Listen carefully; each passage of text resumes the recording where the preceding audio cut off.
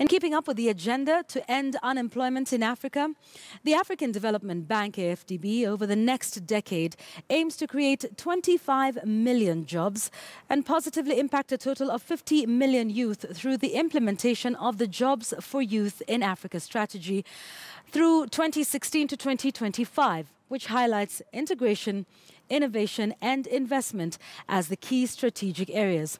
Through integration, the bank will equip itself, uh, projects, staff and systems and regional member countries by means of financial support and policy dialogues to become engines for job creation.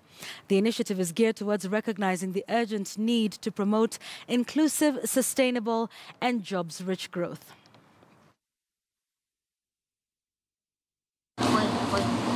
Keren